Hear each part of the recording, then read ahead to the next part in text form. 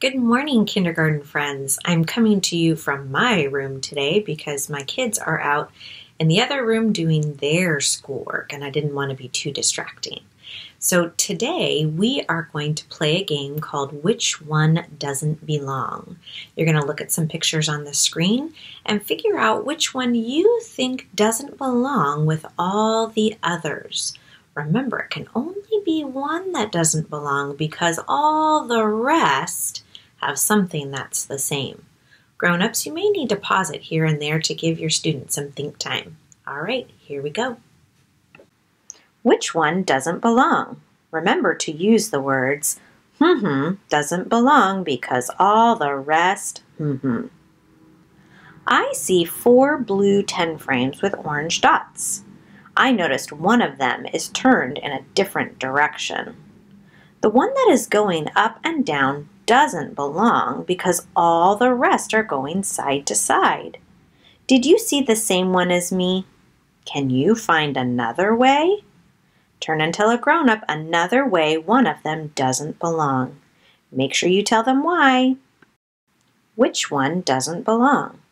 Don't forget to use the words mm-hmm doesn't belong because all the rest mm-hmm.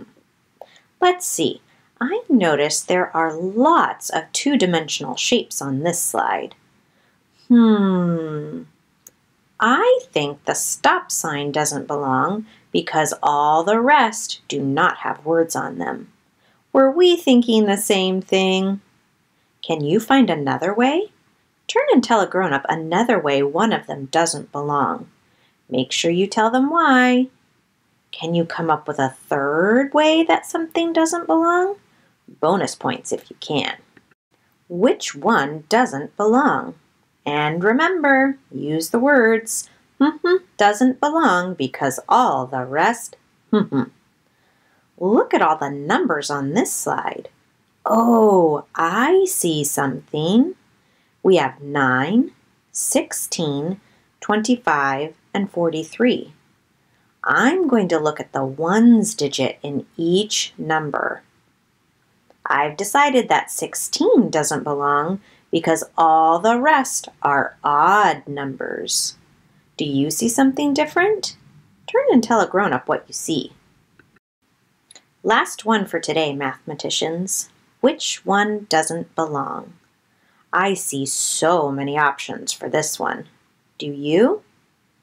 I'm going to say the dark blue square doesn't belong because all the rest are three-dimensional shapes. The square is two-dimensional because it's flat. Who was thinking the same as me? Do you see something different? Turn and tell your grown-up now. Thanks for playing Which One Doesn't Belong with me today.